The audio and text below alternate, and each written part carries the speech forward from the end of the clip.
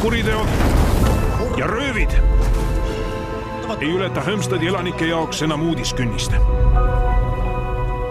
linnavalitsus ja politsei tunnevad end abituna, nähes seda kuritegude lainet meie armsat kodulinna terroriseerimas. nii et politseil napib tööjõudu. see linn vajab superkangelast. Vinski, saladust tahad kuulda? nähtamatuks tegev pulber.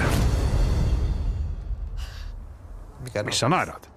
nähtamatuks tegev pulber? jaa. läbi seinte!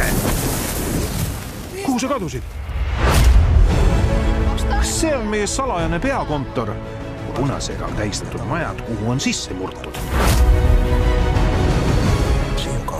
Pulbriga on võimalik see kuritegevuse laine peatada ole ettevaatlik, Vinski. läbi seinte! üks röövlitest väitis, et teda ründas tulekustuti. ta on nähtamatu kangelane. kurjategijate boss on endiselt liikvel. käärime siis käised üles. Sul on poeg? jaa, Vinski on kümneaastane punepulbrit võivad kasutada vaid äärmiselt ausad ja isetud inimesed. mina olengi nähtamatu kangelane. Vinski, üle linna Vinski. kusjuures päris superkangelased ei käi kunagi vetsus